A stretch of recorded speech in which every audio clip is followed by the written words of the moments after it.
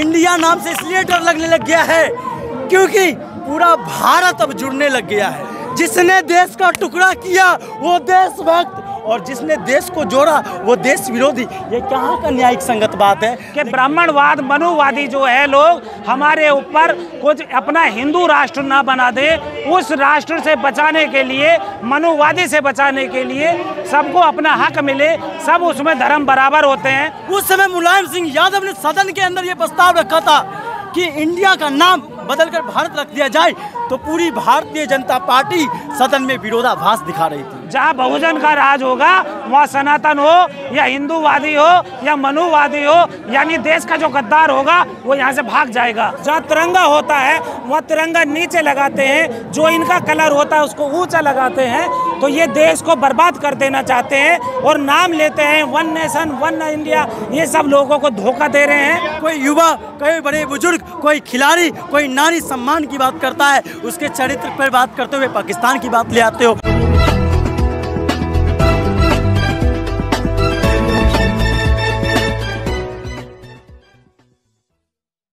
मैं राजुद्दीन गादरे, बहुजन मुक्ति पार्टी, और हम लोग एक विचारधारा है, बहुजनों को मुक्ति दिलाने वाला काम कर रहे हैं हम लोग। उस मुक्ति पे सबसे पहले मैं आप लोगों को जानकारी दे दूँ कि हमारा देश इंडिया दैट इज़ भारत है।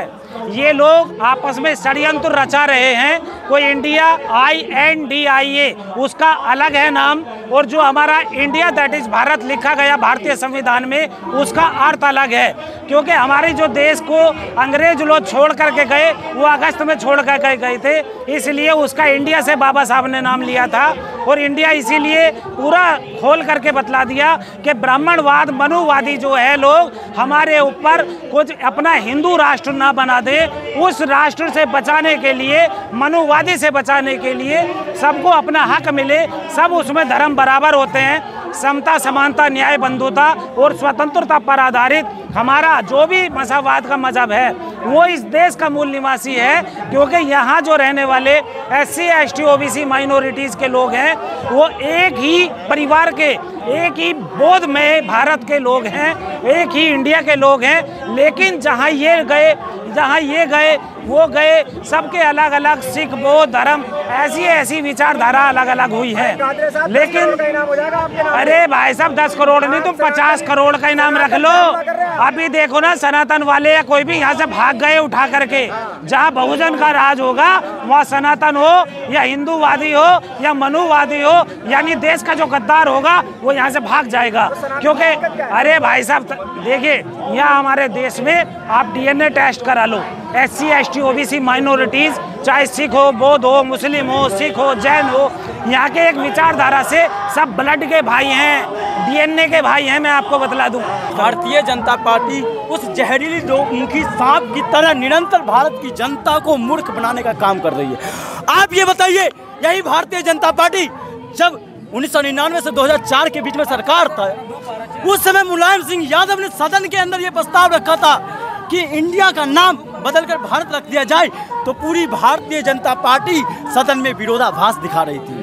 आप ये बताइए, पिछले नौ साल से भारतीय जनता पार्टी की सरकार है देश के अंदर, लेकिन अचानक इंडिया गठबंधन बन जाने के बाद पिछले पंद्रह दिनों से इंडिया इंडिया से डरने लग जा। ये बताइए, इंडिया अगर गुलामी का प्रतीक है तो आप ये बताइए skill India digital India make in India startup India Khelo India ये तमाम जो योजना है वो भारतीय जनता पार्टी को क्यों भा रही थी? दिक्कत क्या है भारत से? मुझे दिक्कत न तो भारत से है न इंडिया से है न तो दिक्कत हिंदुस्तान से है। ये तीनों एक पर्याय है भारत की एका का समानता का। पर्याय है एक ये नर और नारी की समानता। संविधान को ज़िंदा करता है ये तीनों संदेश। आप ये बताइए इंडिया नाम से इसलिए डर लगने लग गया है क्योंकि पूरा भारत अब जुड़ने लग गया है। क्योंकि जो धार्मिक उन्माद के तत्व के लोग जो देश में घूम घूम कर, देश में दंगा कराना चाह रहे थे उससे कहीं ना कहीं देश की जनता को लग गया कि ये भाईचारा खात्मा करने वाले लोग नागपुर से दिल्ली की सत्ता पर बैठ गए हैं और दिल्ली की सत्ता को खार फेंकने के लिए पूरे भारत के लोग वसुधन कुटुंब के नाम पर एक हो गए हैं और जिनसे इनको डर लगने लग गया है ये सत्ता में बैठे हुए लोग को। इसलिए तो इसलिए तो इन्होंने पाँच दिन का सदन बुला लिया।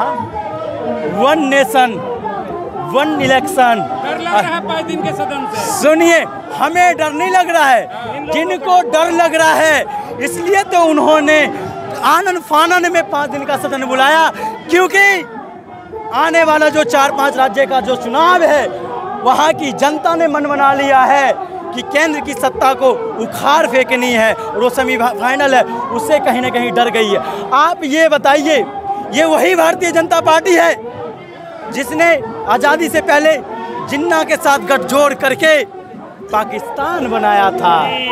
ये वही भारतीय जनता पार्टी है, श्यामा प्रसाद मुखर्जी, संयुक्त प्रांत जिसको हम कहते हैं उत्तर प्रदेश, उसके अंदर सरकार में शामिल थे। ये वही भारतीय जनता पार्टी है जो मुस्लिम लीग के साथ बंगाल के अंदर सरकार के अंदर शामिल है। सिंध के अंदर सरकार में शामिल था। जिसने देश का टुकड़ा किया, वो देशभक्त और जिसने देश को जोड़ा वो देश विरोधी। ये कहाँ का न्यायिक संगत बात है? लेकिन पत्रकार कुछ पत्रकार लोग टीवी और अखबार के माध्यम से उन पर सवाल या निशान उठा रहे हैं। जी कह रहे घमंडिया है सब इंडिया नहीं है। 28 दल लुटेरों का दल हो गया है सुनिए जी इंडिया में जितने गठबंधन के लोग हैं उनसे कहीं ज़्यादा छुटमुट गठबंधन के लोग उनके दल में शामिल है। जिनके कहीं तो विधायक नहीं है कहीं पार्टी का वर्चस्व नहीं है। है अड़तीस पार्टियाँ हैं वो अलग एक नहीं है। अड़तीस छोटे मोटे गठबंधनों को एक एनडीए का नाम दिया गया और दूसरों पर उंगली उठाते हैं। भाई, ये दो देश को जो है बर्बाद करने वाला गठबंधन है। मोदी जी ने खुद कहा था कि इनके कपड़ों से पहचाने जाएँगे जो देशद्रोही हैं। ये देशद्रोही आज नंगे हथियार लेकर के, नंगी तलवारें लेकर के दौड़ते हैं। इनके कपड़ों से पहचानिए आप। ये आग लगा देना चाहते हैं देश को।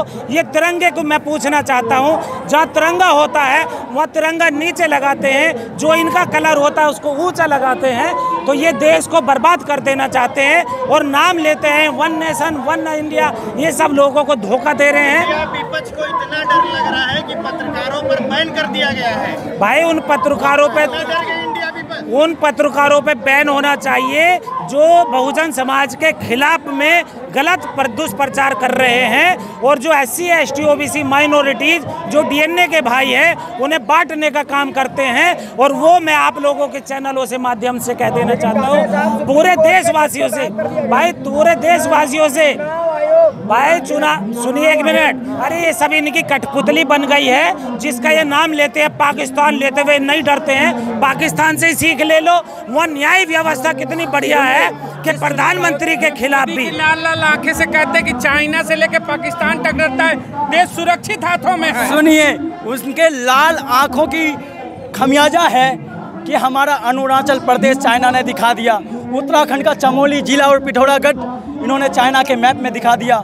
आप ये बताइए, कश्मीर और लद्दाख के वो तमाम इलाके चाइना ने दिखा दिया, लेकिन उसके लाल आँखें काम नहीं की। उस चाइना, उस लाल आँखें की बदौलत ही देश के वो तमाम जो ट्रेडिंग का आपने देखा होगा, जो लोन और कर्जे में डूबे, जो 300 करोड़ का जो लोन भारत के ऊपर, चाइना के ऊपर आ गया, ये कहाँ से आया भैया? पूरा नोएडा चाइना के कब्जे में आ गया। लेकिन पूरी जो मंत्रिमंडल है उनकी चुप्पी और पूरे जो नोएडा के अंदर ही तो है मीडिया के तमाम जो सौ कौन से वो तमाम मीडिया को दिखता नहीं है क्योंकि वो तमाम मीडिया किसमें लगी हुई है?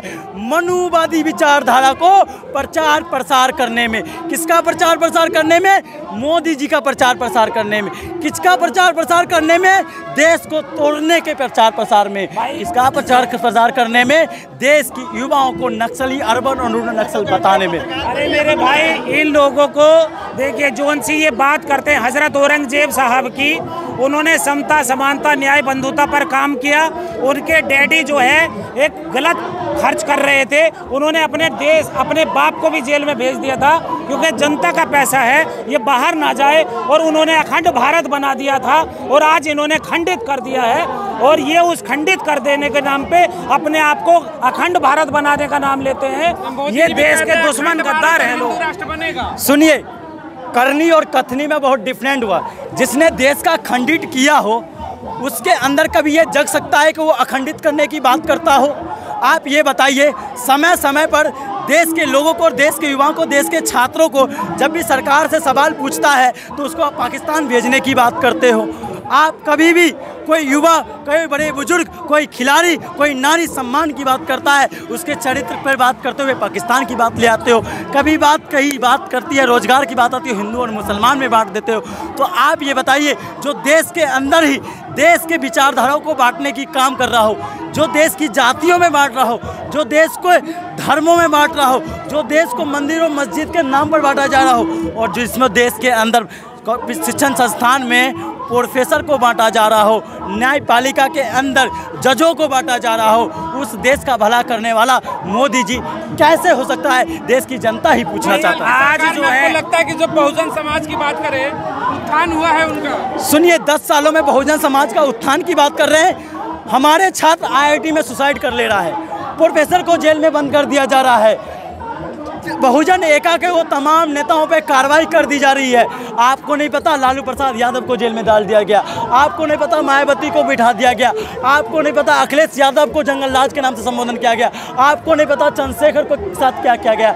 आपको ये नहीं पता, तमाम स्टेलिन को क्या कहा जा रहा है। आपको नहीं पता कि साउथ में तमाम जो नेता उभर के निकले, उनको क्या किया जा रहा है। आप ये बताइए, लालू प्रसाद यादव, पेरियार, आज पेरियार की जयंती है। पूरा देश मनाता था लेकिन आज क्या हो गया? मोदी मोदी करे जा रहे हो सारे मीडिया लोग। क्या पेरियार की भूमिका नहीं है इस देश में?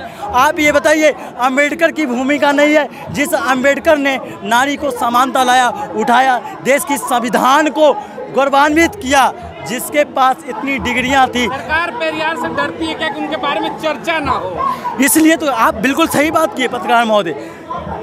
ये जो वर्तमान में बैठी हुई जो संघीय सरकार है वो संघीय सरकार उन तमाम लोगों से डरती है जो लोग संविधान की बात करता है, शिक्षा की बात करता है, प्राथमिक बुनियादी समस्याओं को लेकर बात करता है, बात करता है, एका को लेकर बात करता है, बात ये करता है।